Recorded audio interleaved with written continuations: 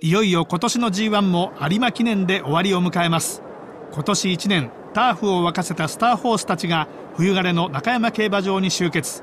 そして今年は秋小馬三冠をかけたこの馬に注目が集まります。10ポイント。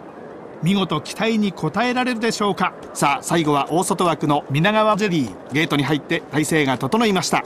スタートしました。10ポイント。これはいいスタートを切りました。綺麗なスタートを切りました。ダッシュよく10ポイント。行きました。続いて前へ行くのはエリモジョージ。さらにはインターグ試験8番グリーングラス。その後ろ。先手を取ったのはエリモジョージ。少し離れて東証イレブン。続いています。おっと1頭故障発生か。ビンゴガルーずるずるっと後退しました。場内騒然。レースにどのような影響が出るでしょうか。さあこの辺りで各馬正面スタンド前を通過していきます。緑の帽子。金見信。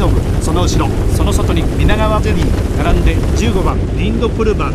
その隣にセシル・セルリアアグネス・レディそのうちに続いています。その外からキュアダイナー並んで3番ペンマシンボル。この辺りで12コーナーの中間点を通過。これは縦長の展開です。内からは竜気候。さらには天明。最高峰に東福セダン。10ポイント。これに勝つといよいよ秋のコバ3冠達成です。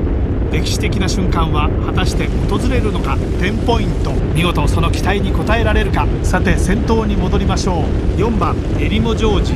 依然として先頭。リードは1馬身から2馬身。1番人気の10ポイント。現在先団です。ここで各馬第3コーナーのカーブに差し掛かりました。先頭は依然としてエリモジョージ。